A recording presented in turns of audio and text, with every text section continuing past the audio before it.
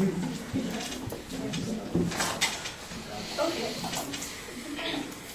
Abortion has always been a topic of great controversy. You can be passionate about it, pro-life, pro-choice, somewhere in the middle. There are both negative and positive aspects to abortion, but what side is really right? For years, people have debated this topic. Government officials and townspeople alike weighing the pros and cons.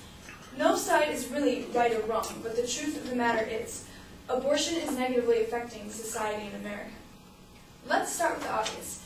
Women suffer emotionally, spiritually, and even physically from an abortion. Alyssa Andres says in her essay, when an abortion is performed on a woman, she becomes subject to blood loss during the procedure, usually resulting in shock. Severe hemorrhage often follows an abortion. And instruments can perforate the uterus, causing injury, infection, and bleeding to internal organs. According to a study done by the National Cancer Institute, women are 50% more likely to get breast cancer after an abortion due to the fact that an abortion of a first pregnancy interrupts the growth, natural growth process of the breast, leaving millions of cells at risk. It was also determined by Jessica Lawler's original research that future pregnancy failure is increased by 45% with just one abortion. Of course, these are all just the physical problems women can encounter. Emotionally, women, and even some men, who are either married or with the woman undergoing the abortion, experience depression, anger, and guilt. Women are more likely to suffer from long-term grief and sexual dysfunction after an abortion. If a woman is spiritually affiliated in any way, an abortion could surely cause her to second-guess herself and her ways. But what about outside of a couple's house? How is abortion affecting the real world? My second key point is that abortion is negatively influencing the legislation and the economy. Because it is such a dire issue amongst the locals, the government can't help but get involved. The problem with this, of course, is the way such a simple controversy can stir up so much chaos and tension. The legislation, therefore, must split themselves accordingly into for and against sides. Barry Burden, a congressman from 2007, argues that the personal experiences and the individual characteristics of legislators have direct effects on legislative decision-making. That being said, the economy is also suffering. Charles Lockhart states in his book, The Roots of American Exceptionalism, Institutions, Culture, and Policies, regulating abortion requires public funds, which must be raised by taxes. With taxes raised and the number of abortions increasing, what does that mean for the economy? Well, if more and more people are having fewer children or none at all, there will in turn be fewer diapers bought, fewer school supplies purchased, and less college funding being stowed away in the bank. In the end, the government makes less money. My last point is more on the religious side. It is, the acceptance of abortion will further demoralize our society. If more and more women undergo abortions, the morals of our society will plummet even further than they already have. It was said by Judith Blake in her book, Abortion, New Directions in Policy Studies, that the public tends to think that abortion is abused by being used solely as a birth control measure. That is, for no other reason than that the couple, or the woman, does not want the child to be born. Many of the legislative arguments have gone back and forth about the conservation of life and what exactly that entails. Abortion, claims Mary Boyle in her book, Rethinking Abortion, Psychology, Gender, Power, and Law, has been said to be disregarding life and responsible for many of society's ills. Obviously, abortion alone is not the sole influence of society's problem, but it seems to be a factor.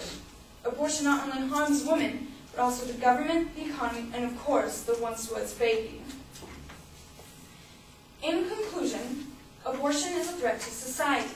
It is harmful to women's health and mental wellness, to the government, and to America's economic growth. I restate my claim for the last time. Abortion is negatively affecting society in America.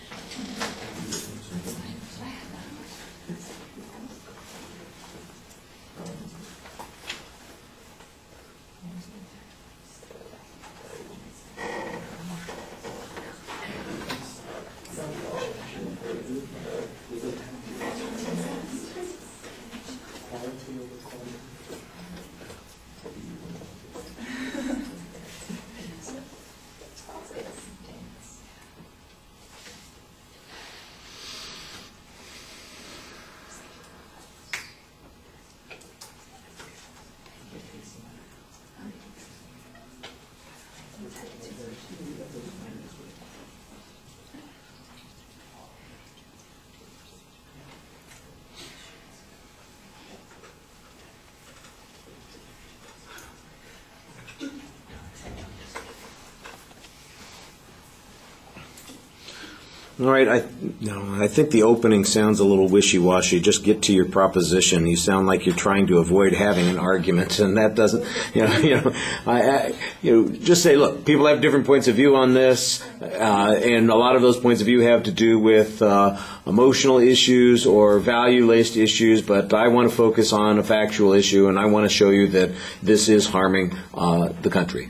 Okay, and that, and that would be fine. I thought you laid out the secondary points pretty well. Um, sometimes they're not always phrased as claims. It was a little confusing because in the body of the speech, I started writing down on the in the corner uh, your points, and I, I said at one point, "Oh, you have a really good transition to the second point," and then I realized, nope, that's still the first point because then came the second point. So apparently there are multiple points in that first point, and so it got a little bit confusing there. Uh, you explain your concepts pretty well. Uh, I think the proof on those needs to be a little bit stronger. You had two pieces of statistical information on the first point on the harms about the breast cancer and about uh, long-term uh, ability to carry children, and I thought that those were good statistics. Uh, you cited the one source. Um, Actually, you cited sources for both of those, so I thought that that was uh, pretty pretty solid. Uh, I think you could use a little bit more information on some of those harms. There wasn't really any information on the emotional issue. It's all hypotheticals and descriptions that you've got. On the second and the third point, there's a, there's some uh, quotes that are coming from experts that I could not always tell how the what the expert was saying had any bearing on the claim that you're presenting. Uh, there's probably an inference or an interpretation that you're making there that I could not tell. Like you've got one quote from a congressman, I think, uh, that you say at one point. And I heard that quote and I go, what the hell does that mean? And how does that apply to the point that you're making? And I think that you need to be a little bit more. Um, or a little bit less abstract on some of those arguments, a little bit more forceful. Uh, the one thing that I thought that was exceptional at the end of the speech was that you had a very good summary and a clear exit, uh, reminding us about the point that you were trying to make, and I appreciate that. All right. Thank